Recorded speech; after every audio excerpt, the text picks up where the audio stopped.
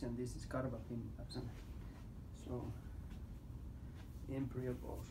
So do the lotus first, then put hands, arms being the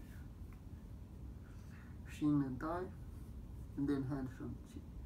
One, two, roll shoulders back, move center, stand forward, three, four, rotate upper arm up, and five, exhale, release.